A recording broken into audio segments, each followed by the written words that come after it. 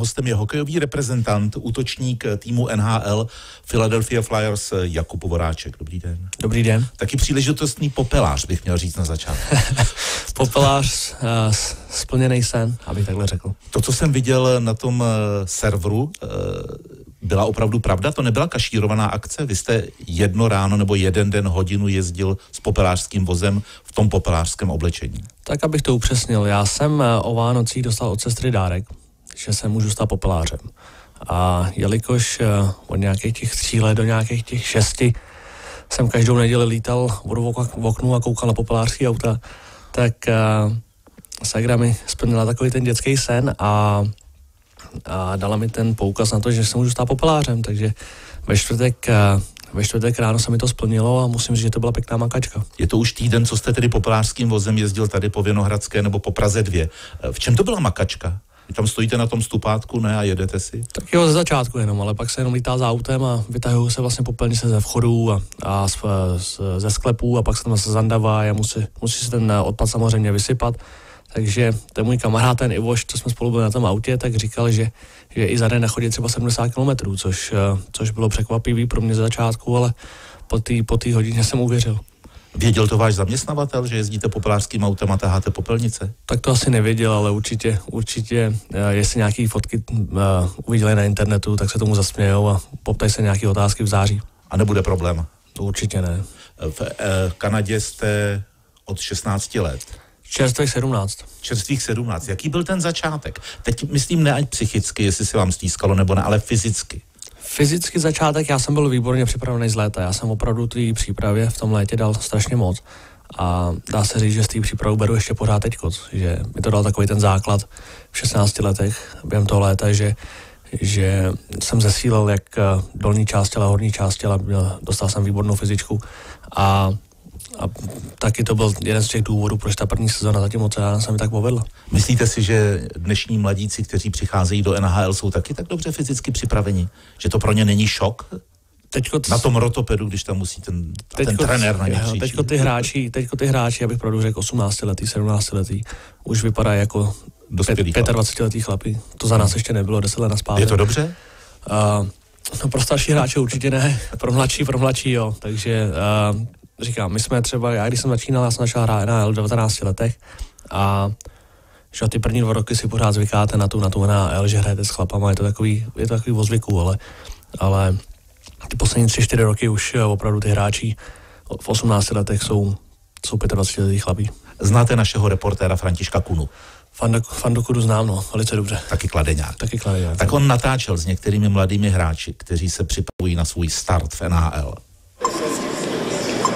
výborná zkušenost, výborný tý, uh, týden, vlastně trošku jsem tady zapomněl mluvit česky. Anglicky ale mluví 18-letý Martin Nečas dobře, ale paradoxně trochu zaškobrtnul, když se ho ptal americký novinář na výslovnost jeho příjmení. Martin Nečas out of uh, Brno in the Czech League, I said that right, right? Everybody here, I'm like Nick Nikas, but my yeah. name is Martin Nečas. Nečas. Net, you can't even yeah. get it right. Oh my gosh, I'm Nečas. Zasmál se na stránkách NHL Nečas, ale během testů mu zase tolik do smíchu nebylo, zvlášť na kole, tedy na rotopedu, u kterého stojí trenér a ten hokejisty povzbuzuje a je hodně slyšet. Good, good, good, good, asi pro mě nejtěžší byl ten Wingate, teďka to poslední, to mě bylo úplně dobře potom. Eh, byl to asi můj první, první Wingate v životě, takže bylo vážně těžký. Wingate, to je stručně řečeno test, kdy vás nechají šlapat poměrně dlouho na rotopedu a na závěr musíte ještě 30 sekund makat úplně naplno. Let's go, Austin. Keep pushing now. Tak je 10-30 vteřin. Další z Čechů Zlínský Filip chytil. Eh, pod nějakou váhou a, a jede se prostě sprint a je to strašně těžké. 30 vteřin, ale tak eh, dal jsem do toho všechno. Popisuje chytil a právě s nečasem se v jedné dílčí disciplíně na rotopedu vešli do elitní desítky, ale chtěli toho po nich v Buffalo mnohem víc. Skoky do dálky, do výšky a, a sprinty. Myslím, že to bylo asi to nejlepší, eh, na co jsem se připravil a, a v tom jsem měl asi eh, nejlepší výsledky. A tak to byla ukázka z reportáže Františka Kuny eh, s mladými hokejisty, které čeká možná zářná, možná nezářná kariéra v NHL. To opravdu ten trenér tam takhle křičí? Tak eh, co si dobře pamatuju, tak, tak jo, to určitě ten trenér byl jiný, než jsem ho měl já 10 let na zpátek, protože teď od draftu to bude 10 let, já byl draftovaný v roce 2007 ale je pravda, že ten Wingate, že to je strašný. Tam jako většina hráčů vyvrhne snídaninu potom. Čem to spočívá ten Wingate vůbec? Ten Wingate, eh, tam je desetina vaší váhy, jestli se nepletu, mm-hmm. závaží a vy, vy rozšlapete to kolo na co, nejlepší, na co největší otáčky a v ten čas, kdy oni řeknou hop, tak uh, tu váhu vám tam pustí a řekněme, že máte těch 200 poundů, těch amerických uh, 200 poundů, takže vám tam dají 20 poundů závaží. Takže, takže šlapete a po nějakých 10-15 vteřinách už opravdu jste v tom laktátu a, a máte další 15 vteřin a ono se řekne, že to je 30 vteřin, ale to je, to je, to je opravdu je to strašný. Jsou takový hokejisté, kteří už v tu chvíli to vzdají a mají po té slibné kariéře v NHL? Tak těch 30 vteřin se dá odjet. Jo? Ty, hmm. co mají silné nohy, tak se to dá, pak samozřejmě je to záleží na tom, jakou máte fyzičku, jak zpracováváte ten laktát a, a dá se říct, že potom Wiggateu jdete vyvrhnout tu snídaně za nějaký 10-15 minut šlapete kolo VO2 max, což je jenom na objem, na objem kyslíku v těle. A to třeba můžete, záleží na, na individuálních výkonech 15-20 minut. A tahle zkouška je jenom jednou při tom začátku a pak už vám dají pokoj? Jsou uh, i v týmech se to jezdí, hmm. se jezdilo ten Já si pamatuju v Kolumbusu, že jsem to jezdil každý rok, ale tak to máte jednou za rok a máte, máte konečnou. Ale momentálně se uh, Wingate už moc nedělají, že se více dělají testy na ledě na podobný způsob. Takže vlastně i NHL se mění. Mění se, mění se a měnit bude, bude, určitě. Philadelphia, jaké je to město? Philadelphia je jedno z nejstarších měst Spojených států. A samozřejmě, že ty názory těch lidí jsou na ní rozdílný, ale mně se tam hrozně líbí a tam jsem strašně spokojený. Od té doby, co jsem tam přišel v roce 2011, tak jsem se do toho zamiloval a zatím doufám, že, že ještě tam nějakých pár let vydržím. Tak tu smlouvu máte na pár let? Smlouvu mám na pár let, ale to nic neznamená. Takže... Jak to, že to nic neznamená? Tak uh, vždycky vás můžou vyměnit vyplatit, když nemáte výkonnost, takže uh, to mi drží na tom, abych v tom létě pracoval natolik, abych těch sedm let tam vydržel. Teď pracujete, ne? Teď tady sedíte v rádiu, v klidu. Ještě, ještě, mám, ještě mám odpočinek, začnu, začnu trénovat, uh, vypadá to, že v pondělí, takže měsíc od, od konce sezóny, ta sezóna byla strašně dlouhá, takže teď bude tři měsíce letní přípravy a pak začne ten kemp. Vy už jste říkal, že vám ten vánoční dárek, eh, tu jízdu na popelářském autě a tahání popelnic dala vaše sestra. Protože, jak se ona sama vyjádřila, vy si vlastně můžete spoustu těch věcí koupit, ale tohle to jste vždycky chtěl zkusit. Eh, sestra vede vaši nadaci? Sestra vede uh, moji nadaci s Tereskou Typoldovou, uh, man, uh, PR manažerkou. A musím teda před oběma smeknout, protože dělají ohromný kus práce a Segra je do toho strašně zapálená a to si myslím, že, že jí pomáhá uh, s, tou, s tou nemocí, protože každý den má něco, musí někde být, musí něco zarizovat a, a je dobře, že, že je takhle aktivní. Hmm. To byl důvod, eh, proč jste se rozhodl uh, mít nadaci, která podporuje lidi, respektive i léčbu lidí s roztroušenou sklerózou. Samozřejmě, my jsme s tím nápadem přišli uh, rok uh, po tom, co vlastně Segre diagnostikovali roztroušenou sklerózu a já si myslím, že to byl výborný nápad, protože co jsem slyšel od sestry, tak uh, ta léčba pro ty pacienty ne, není na takový samozřejmě úrovni, jak, jaká by měla být. Hodně lidí nemá léky, to, co potřebují, nemají pomůcky, to, co potřebují k normálnímu životu. Uh, Teď v úterý vlastně jsme se se Segrova Stareskou byli uh, ve dvoře Králové, kde jedno centrum pro pacienty s roztoušenou sklerózou, který už uh, se nemůžou odkázat sami na sebe a hmm. potřebují 24 hodinovou pomoc a, a pro mě to byl takový samozřejmě šok, ale i příjemný šok, jo? když vidíte ty lidi, jaký mají zájem, jak jim to pořád myslí, ale bohužel, bohužel ta, ta, to, tělo, to tělo jim to nepovolí. Takže my jsme tam byli asi dvě a půl hoďky a povídali jsme si a viděli jsme to, to jejich zázemí a, a byl to pro mě zase nová zkušenost. Jak získáváte finanční prostředky pro vaši nadaci? Finanční prostředky získáváme uh, různýma aktivitama, takže uh, teď třeba 24.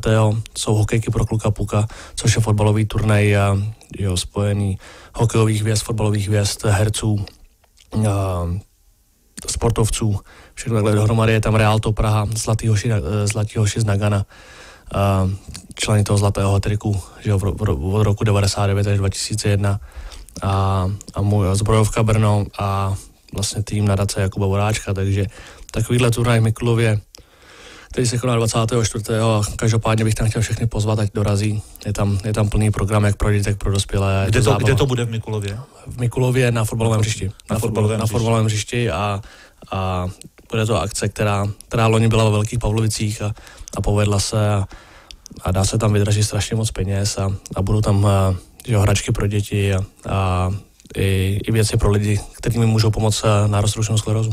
Kolik se vám podařilo vybrat třeba loni? Loni, loni přesně nevím, ale za za poslední dva roky vlastně vozníku nadace.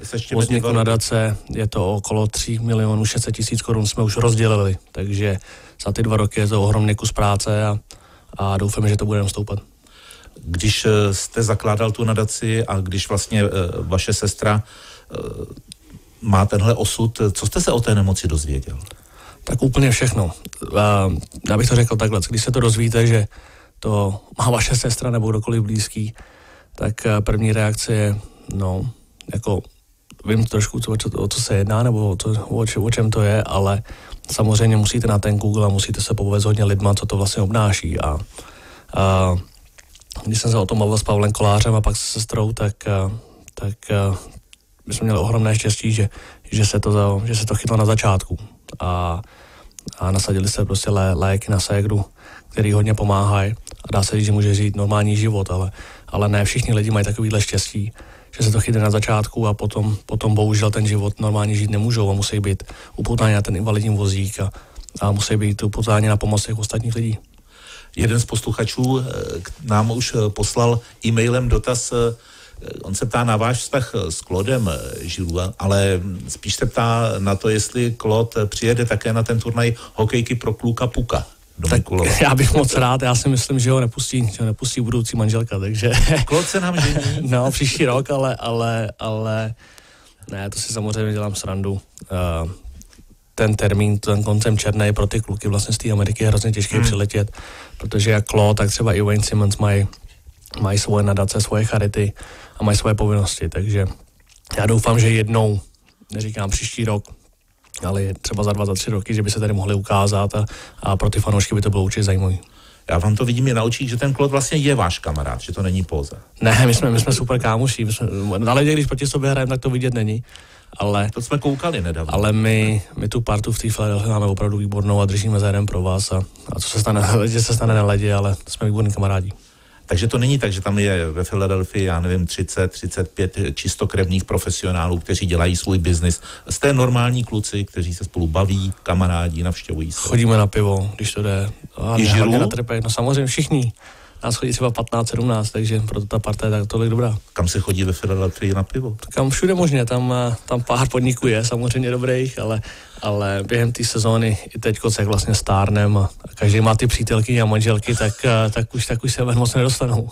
Jste první člověk, který řekl v 27 letech, že stárne. No, tak uh, my jsme začali vlastně, když já jsem šel do Fily, tak mi bylo 21, 22 mi bylo čerstvý.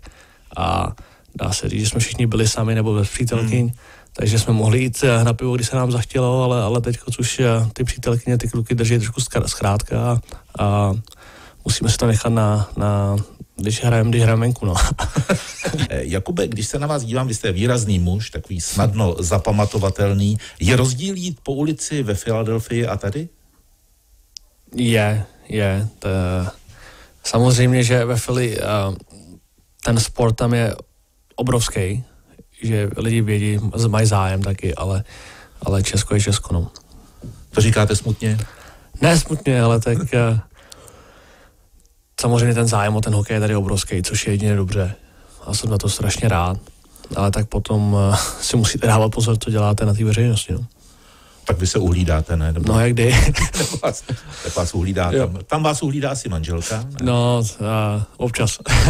Jaká je Nikol? Nikol, nás teď asi spí, teď nás neposlouchá. Teďko, no, tak uh, Nikol je v Americe teďko vlastně s malým, takže uh, ta je u mámy na Floridě a já mám tady ještě hodně povinností, takže v červenci, v červenci poletím na, naspět. Chystáte, jak už jsme říkali, tu akci pro vaši nadaci na 24. června. Eh, hodně lidí se ptá, jestli v tom Mikulově eh, bude autogramiáda. Autogramiáda určitě. Loni byla v, v Pavlovicích hodinová autogramiáda a určitě po těch fotbalových zápasech eh, ty lidi si můžou odchytnout určitý, ty určitý hráče a osobnosti, takže, takže tam k tomu bude určitě prostor. Vy, když jste přišel sem do budovy Českého rozhlasu, tak samozřejmě mnohé kolegyně zejména přicházely a fotili se s vámi a přinášeli vám fotografie, chtěli váš podpis a vy jste úplně automaticky, ale musím říct, že autenticky velice mile se jim podepisoval. Pro vás, vás to neobtěžuje? Já si nemám problém, mě to, mě to, mě to nevadí, mě to potěší spíš. Dovedete si představit, že by se takhle semkli kolem Jaromíra Jágra? Tak uh, to nevím, jak, jak Jack reaguje samozřejmě. To já vám můžu každý, říct. Každý, jsme, každý, jsme jiná, každý jsme jiná povaha, ale, ale, ale tak zase Jarda si myslím, že úplně na jejím levelu tady v tom ještě, že, že ten zájem o tu jeho osobu je takový, že, že opravdu někdy on potřebuje ten čas sám pro sebe a, a na té veřejnosti, si, co si bude nalhávat, on, on, ho, on ho nemá. Vy jste se potkali na hřišti, na kluzišti tedy, jak, jaké to bylo? dobrý to bylo, my jsme se potkali, když jsme dokonce spolu hráli vlastně v roce 2011 a já když jsem byl vyměněn do Filadelfie, tak tam Jagger podepsal a, a strávili jsme spolu rok a byli jsme i sousedí, takže, takže já na ten rok vzpomínám velice rád a, a já jsem se moc užil. Tak eh, to je, vy jste další kladeňák, který dělá kariéru v NHL, jste velmi úspěšný. Eh, to je v Kladnu nakladně tak dobrá voda, že se tam hokejistům v NHL tak daří? To je těžko říct, dobrý trenéři, dobrá výchova. Je nás opravdu hodně, když tak nad tím přemýšlím vlastně. Marek Židlický, Kabel, Kabelkové, Tomáš Plekanec, Ondra Pavelec, Frolík, Tlustý, Smoleňák, je nás, je nás, je nás dost, no. Celé Kladno je v Americe. Když jste mluvil o těch trenérech, pamatujete si všechny vaše trenéry? Všechny trenéry od mala, od mala. Josefa Vosického. Pan Vosický, to byl asi největší, s mým tátou, asi největší průkopník té mé kariéry, podle mého názoru. Mě na hráčích, kteří udělají kariéru v NHL, vždycky zajímá i to rodinné zázemí, protože většinou to byli tatínkové, kteří je vodili na let. Ale pak eh, v té Americe, tam s nimi byly maminky. S vámi taky? Se mnou, se mnou ne, ne, ne, ne. Já jsem, nemám rád svůj klid a samozřejmě rodiče přijedou, kdy můžou nebo kdy chtějí, dá se říct, tak přijedou. Jo? Na Vánoce jezdí každý rok.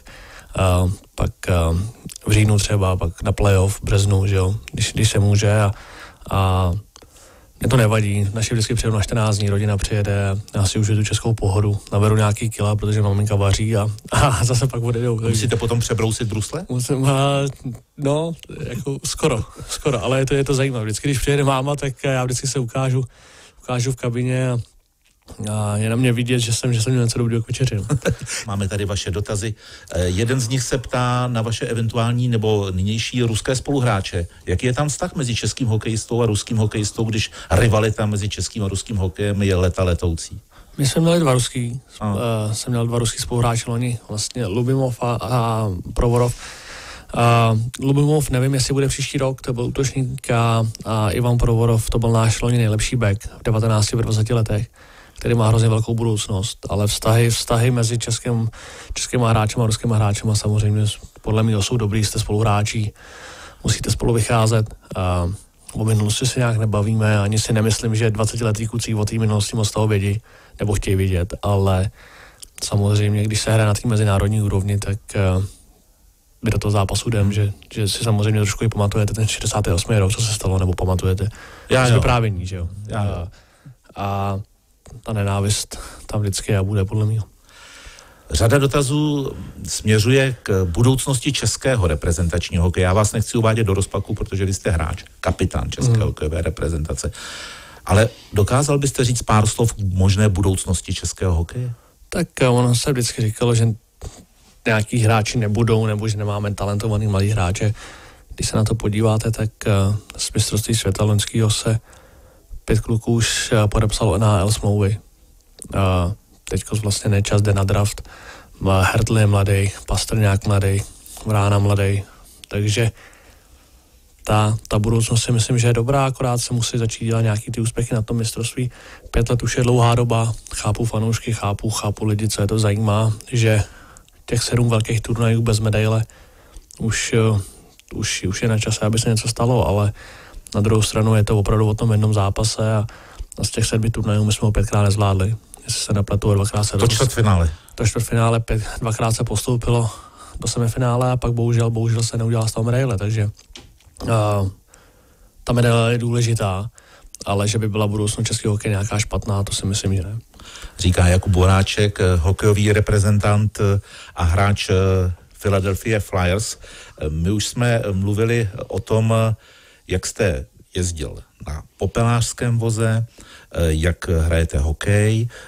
Máte ještě nějaký sen, který by vám mohl někdo splnit? Který by mi mohl někdo splnit? Tak sestra vám dala k Vánocům poukaz a vy jste se stal popelářem. Mm-hmm. Teď máte dobrou smlouvu na sedm let, peníze osvobozují. Co byste ještě chtěl? Osvobozují, ale nejsou všechno. Rozumím. A, a, ale co bych chtěl?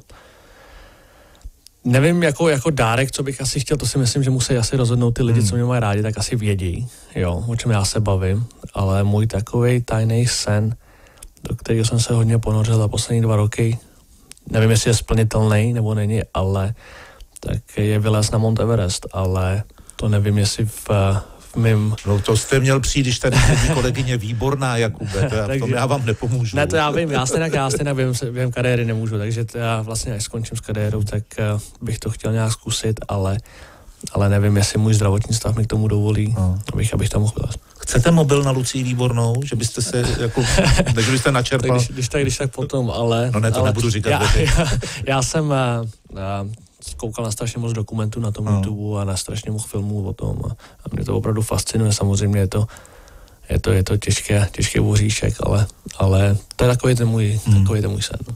Když si Jakube člověk eh, povídá s lyžařem běžcem nebo s biatlonistou, tak samozřejmě řeč přijde na to, jaká alchymie je namazat ty lyže. Eh, v případě hokejisty je taky alchymie ty, ty brusle nabrousit? Strašná, je to strašně důležitý. Někdo má brusle víc nabroušený, někdo míň. Já si pamatuju, Jagger je na to, je na to patent, patent.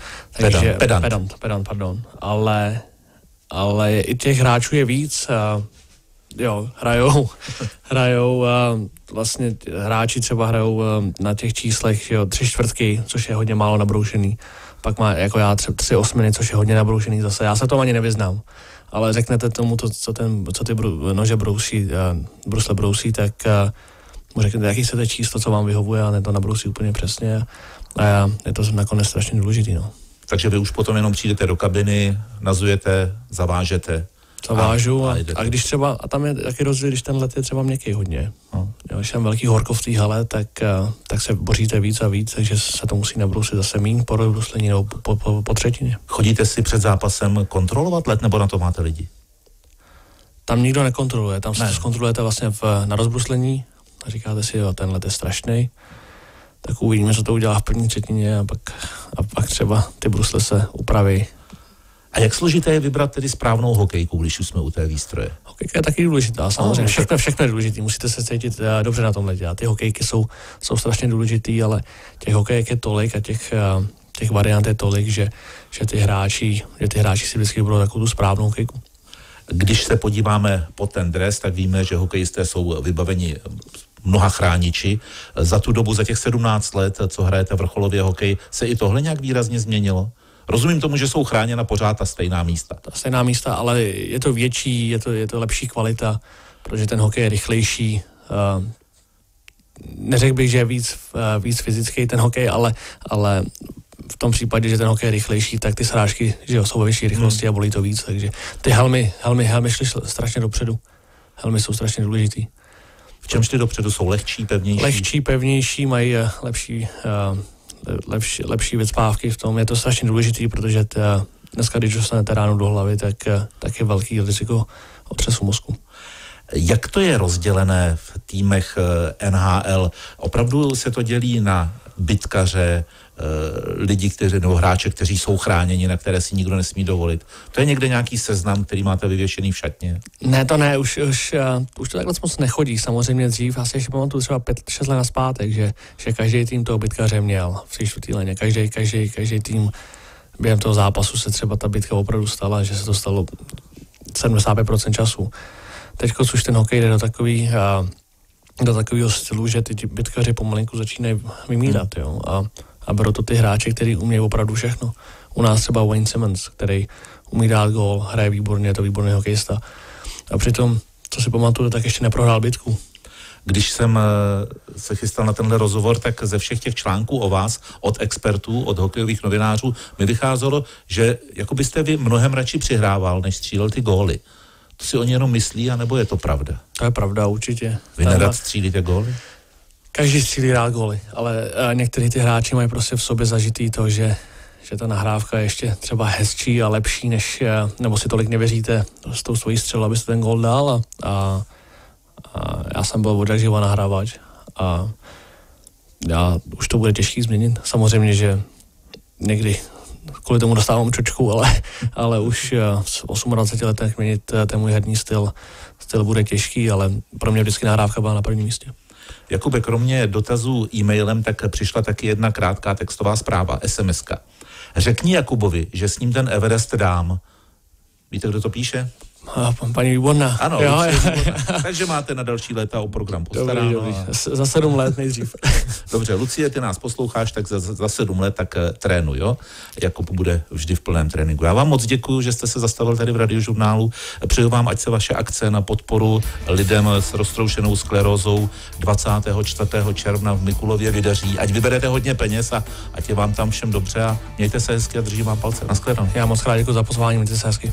Jakub Voráček byl hostem radiožurnálu. Děkujeme, že sledujete YouTube kanál Radiožurnálu. Pokud se vám tenhle rozhovor líbil a nechcete si nechat ujít další, klikněte prosím vlevo dole na tlačítko odebírat. Děkujeme.